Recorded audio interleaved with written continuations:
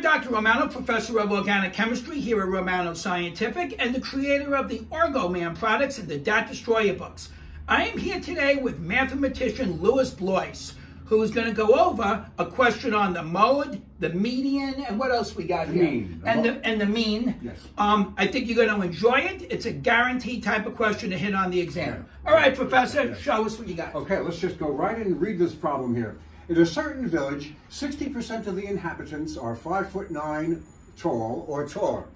Which of the following must be greater than or equal to 5 foot 9? And we have a choice of these statistics. The mean of the population, the mean of this village, the median uh, height of the village, the mode, the mean and the mode, or the mean and the median. Well, let's uh, attack these one at a time. How about the mean, which is the arithmetic average?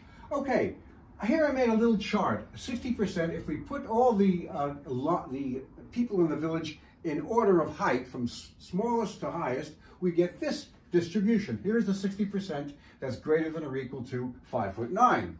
So, uh, what would the mean be? Well, what would happen if everyone in this 60% portion of the population were exactly 5 foot 9, and everyone in the 40% of the population was, say, 5 foot 0? What would the arithmetic average be? It certainly would not be 5 foot 9, it would have to be less than 5 foot 9. So it's definitely not the, median, the mean, okay? That's not greater than 5 foot 9. Let's look at the mode.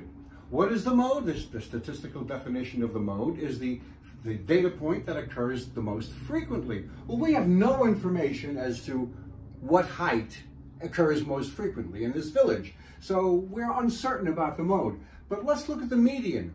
The definition of the median is the number that's right in the middle of the data set. When the data set is put in order, there are as many scores above the median as there are below the median. So where would the median be in this in this distribution? It would be somewhere around here, the 50% mark. Well, if we look at the 50% mark, we are guaranteed that that mark has to be greater than or equal to 5 foot 9 uh, by the definition, by the description of the problem of the population and the original problem. So our answer is the median. It can't be the mean, it can't be the mode, and so our choice is choice B. It is the median that has to be greater than or equal to 5 foot 9.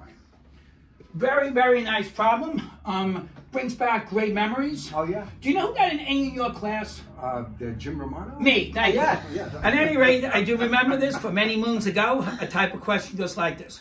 All right, guys, Fast and Furious, it was an easy question, right? You would agree this was sort of Yeah. a tame one. Oh, that's Um, one, but an important one. Not bad, important indeed. So make sure you know it. I'll see you in study group. Good day to you.